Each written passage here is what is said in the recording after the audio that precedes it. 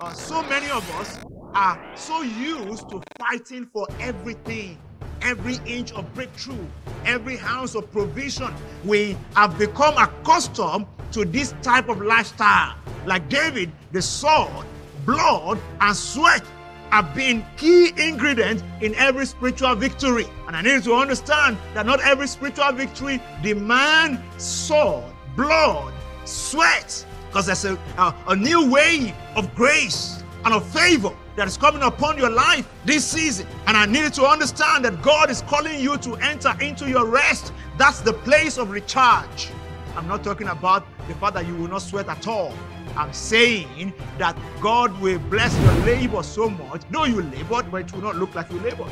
Because an end has come to fruitless labor in your life in the name of the Lord Jesus. And the way to key into that is to enter into your rest.